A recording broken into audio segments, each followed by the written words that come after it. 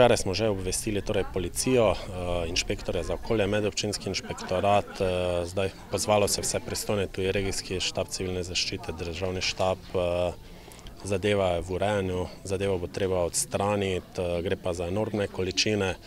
torej ne gre za nesrečo, ampak gre za kaznivo dejanje, da je nekdo pač odložil te nevarne odpadke na pohorje, kaj meni nepojmljivo.